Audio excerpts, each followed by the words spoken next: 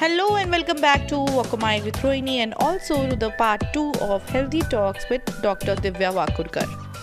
Healthy talks का part one मैंने कुछ दिन पहले ही अपने चैनल पे अपलोड किया हुआ है अगर आपने वो वीडियो नहीं देखा है तो डिस्क्रिप्शन बॉक्स में दिए गए लिंक को क्लिक करके आप उस वीडियो को देख सकते हैं हमने पिछले वीडियो में बात करी थी सप्लीमेंट्स एलर्जीज डेफिशिएंसीज और लाइफस्टाइल चेंजेस के बारे में। अब हम इस वीडियो में मेन और वुमेन से रिलेटेड कुछ डिजीजेज और सिम्टम्स और साथ में ही डॉक्टर इंटरनेट यानी कि गूगल के बारे में बात करेंगे। So we all welcome doctor Divya and let's start the video doctor Divya हम लोग को पता है कि prevention is better than cure तो कई बार ऐसा होता है कि हमारी बॉडी में क्या क्या चीज़ें अंदर अंदर हो रही हैं, हमको तो पता नहीं रहता है। तो आप मतलब क्या सजेस्ट करते हैं हमारे व्यूअर्स को कि किस टाइम में और किस चीज़ के लिए डॉक्टर के पास जाना चाहिए और हमारे अंदर क्या क्या चीज़ें होती पता चलनी चाहिए हमको कि ये चीज़ों की कुछ डिटेक्शन हो सकते हैं, कुछ खराबियाँ हो सकती हैं जो कि हम टेस्ट के थ्रू उनको पता कर सकते हैं, खुद को पता कर जा सकते हैं कि ये चीज़ें हम लोग में हो रही हैं और उस हिसाब से हम अपने अंदर ही अंदर उस चीज़ों को प्रिवेंट कर सकें ताकि बाद में और वो जो डिज़ीज़ है या कुछ प्रॉब्लम जो हो रही है वो और आगे बढ़े ना। देखिए डॉक्टर के पास तो आप तभी जाइए जब आपको कोई सिम्टम है लेकिन विदाउट सिम्टम्स भी ऐसी कुछ चीज़ें हैं जो आपको फॉलो करनी चाहिए और आपको डॉक्टर के पास चले जाना चाहिए। मैं आपको बताना चाहूँगी लेडीज़ से रिलेटेड तीन कैंसर्स होते हैं तो ब्रेस्ट कैंसर ओवेरियन कैंसर और वजाइना का कैंसर ये तीनों कैंसर के स्क्रीनिंग टेस्ट होते हैं। स्क्रीनिंग टेस्ट मीन्स कि आप एक डिज़ीज़ आपके एडवांस स्टेज में नहीं पहुँची है। इनिशियल स्टेजेस में पिक हो जाती है और पिक होने की वजह से आप इसको इजीली क्योर कर सकते हो विदाउट मच साइड इफेक्ट्स और ट्रीटमेंट ब्रेस्ट कैंसर के लिए आपको mammography after 35 years of age आपको मैमोग्राफी हर 5 इयर्स में करा देनी चाहिए। Mammography is nothing but in simple term X-ray of the breast तो ये जब आप करेंगे ना तो कोई भी माइन्यूट पैथोलॉजी अगर आपके ब्रेस्ट में चेंज भी हुई है तो वो पिक हो जाती है। मतलब आप उसे डिटेक्ट कर लो दूसरा है वजाइनल कैंसर वजाइनल कैंसर में आपको अगर वजाइनल एरिया में कुछ भी सिम्टम है, जैसे कि फाउल स्मेल बैड स्मेल आ रहा है या डिस्चार्ज कुछ अब normal discharge other than bleeding कुछ वाइट डिस्चार्ज या क्रीमी डिस्चार्ज हो रहा है। बहुत ज़्यादा इचिंग हो रही है, बहुत ज़्यादा रेडनेस हो रहा है, कुछ स्किन चेंजेस हो रहे हैं। तो आप एक बार कंसल्ट करिए अपने गायकोलॉजिस्ट को वजाइना में कोई कैंसरस चेंजेस आ रहे हैं कि नहीं आ रहे अगर इनिशियल स्टेजेस में होता है तो वो बहुत जल्दी विदाउट एनी इंटरवेंशन मतलब बॉडी इंटरवेंशन मेडिकल ट्रीटमेंट के थ्रू क्लीन हो जाता है। सर्जिकल इंटरवेंशन की ज़रूरत नहीं पड़ती इनिशियल स्टेजेस में। तीसरा है ओवेरियन कैंसर ओवेरियन कैंसर बहुत ही साइलेंट कैंसर टाइप का है और इसका फैमिलियल इंसिडेंस ज़्यादा है। मतलब आपके फैमिली में अगर किसी को है तो उसमें आपको होने के चांसेस बहुत ज़्यादा है। वैसे ही ब्रेस्ट कैंसर का भी है कि फैमिली में है किसी को specially blood relative first order sister या मदर तो बहुत ज़्यादा है। कजिन्स को है तो थोड़ा रिस्क कम है और थोड़े दूर के रिश्तेदार है तो ऐसे रिस्क पर अगर फ़र्स्ट ऑर्डर रिलेशन जैसे बहन दीदी बेटी तो फिर अगर आपको है तो आपकी बेटी को होने के चांसेस बहुत जाते हैं। ओवेरियन कैंसर के लिए ब्लड टेस्ट होते हैं। एक ब्लड टेस्ट है C A one twenty five करके। ये टेस्ट करा लीजिए वो आप जाएँगे तो आपको खुद ही गायकोलॉजिस्ट बता देंगे। और दूसरा एक है अल्ट्रासाउंड आप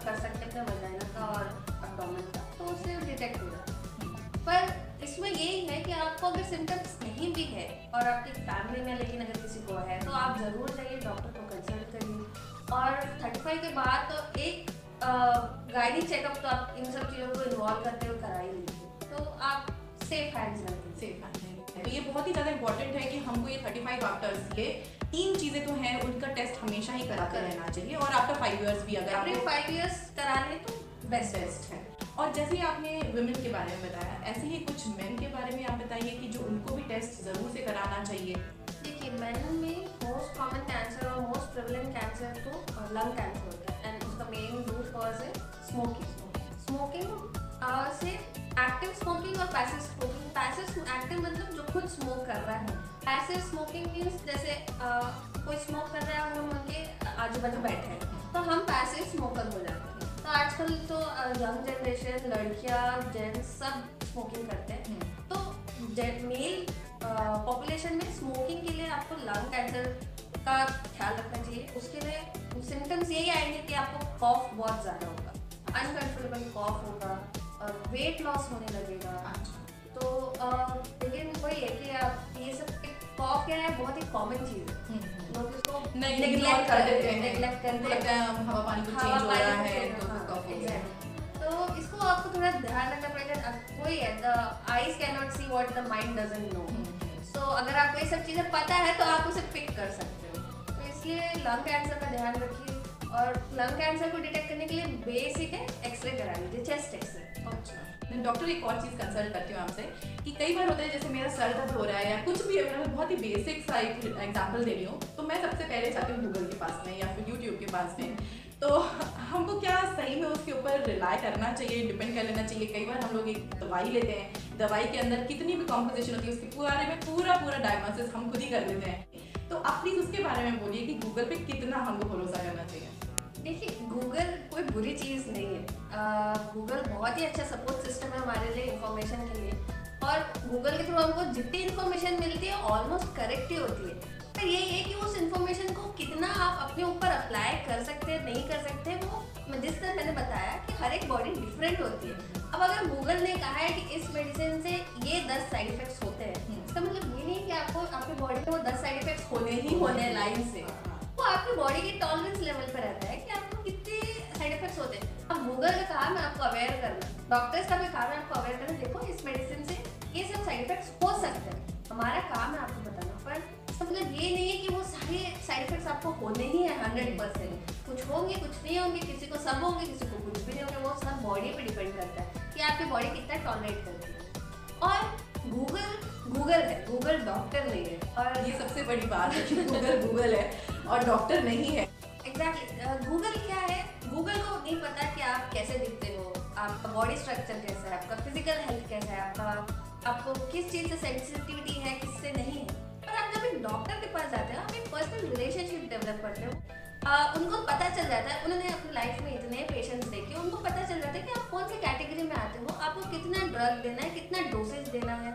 उनको सब एनालाइज हो जाता है आपको देखने के बाद एक पर्सनल कॉन्टैक्ट बनाने के बाद।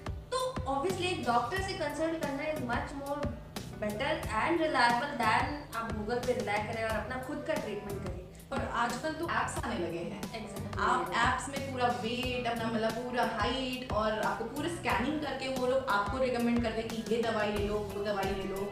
ऐसे एप्स पे भी भरोसा नहीं करना चाहिए। रिस्की है एक्चुअली ऐसे ऐप्स क्योंकि अल्टीमेटली आपको कोई एक्चुअली मॉनिटर तो कर नहीं रहा। है अगर आप वो ऐप्स यूज़ करके भी कुछ मेडिसिन साइड रिएक्शन हो गया तो आप किसके पास जाओगे? किसी डॉक्टर के पास जाओगे? डॉक्टर बोलेगा, आपने मुझसे तो ट्रीटमेंट लिया नहीं है तो मैं कैसे बोलूँ आपको क्या हुआ है, क्या नहीं हुआ है? तो ऑब्वियस सी बात हो जाती है कि आप एक डॉक्टर से कंसल्ट कीजिए। वो वही, उनका काम ही है आपको हेल्प करना। उनका कोई पर्सनल बेनिफिट नहीं होगा अगर वो आपका हेल्प नहीं करेंगे तो। तो ऐप्स और गूगल से ज़्यादा रिलाई करने से अच्छा आप डॉक्टर से जाके कंसल्ट कीजिए पर्सनल रिलेशनशिप डेवलप कीजिए, वो ज़रूर आपको हेल्प करेंगे। तो थैंक यू डॉक्टर दिव्या मतलब आपने हम लोग बहुत सारी चीज़ों के बारे में, जो हमारे मिथ्स थे और क्या क्या चीज़ें हमको करनी चाहिए लाइफस्टाइल में चेंजेस इतने सारे क्वेश्चंस के आंसर्स दिए हैं। मतलब मैं ये गारंटी से बोल सकती हूँ कि जो हमारे व्यूअर्स हैं, उनको बहुत सारी कुछ कुछ चीज़ें भंडार मिलेगा नॉलेज का। और ये मतलब डॉक्टर के थ्रू वर्ड्स हैं तो ये आप पूरी तरीके से रिलाई कर सकते हैं इन सब चीज़ों के ऊपर। और डॉक्टर दिव्या, आप कुछ बोलना चाहते हैं? वॉको माइवी क्रोनी के बारे में। इनका जो यूट्यूब चैनल है, ये एक्चुअली अगर आप इनके सारे पॉइंट्स को कवर करेंगे और इनकलकेट करेंगे अपने लाइफ में ना it's a very healthy lifestyle की तरफ़ ले जाएँगे ये आपको। फ़िज़िकल लाइक इनके जो नॉन कॉस्मेटिक प्रोडक्ट्स होते हैं स्किन के लिए, वो भी बहुत अच्छे होते हैं। इनके हेयर टिप्स बहुत अच्छे हैं, मैं खुद उनको फॉलो करती हूँ। इनकी फ़िज़िकल एक्टिविटी की जो जैसे स्किपिंग और सूर्य नमस्कार और कोकोनट वाटर वाला ये सारी चीज़ें एक्चुअली हेल्दी लाइफस्टाइल का एक पार्ट है। तो अगर आप इनको फॉलो करेंगे तो ज़रूर आपकी लाइफस्टाइल में ट्रमेंडस चेंजेस आएँगे। मैं तो आपको एडवाइस करूँगी कि इनकी यूट्यूब चैनल को ज़रूर फॉलो कीजिए और इनके uh, जो भी एक्सपेरिमेंट्स और D I Ys D I Ys रहते हैं उनको ज़रूर आप करके देखिए बहुत अच्छे हैं।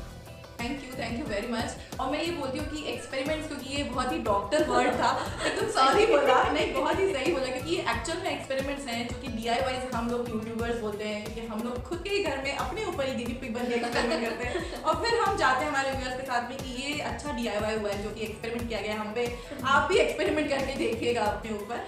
तो एक बार बोल दो सब्सक्राइब कर लो मेरे चैनल को। Do subscribe to walk a mile with Rohini और आपको ज़रूर बेनिफिट चलो thank you thank you doctor Divya for coming to my channel walk mile with Rohini और अगला एक वीडियो एक और आने वाला है, जो कि है आईज के बारे में। और आईज के बारे में जो भी मिसकनसेप्शन हैं और जो भी क्लैरिटीज़ हैं, क्या करना चाहिए आई इन्फेक्शन के लिए आई हाइजीन के लिए आई हेल्थ के लिए, उसके बारे में भी डॉक्टर दिव्या हमारे साथ में अगले वीडियो में ज्वाइन करेंगी। तो अगले वीडियो आने तक बाय टेक केयर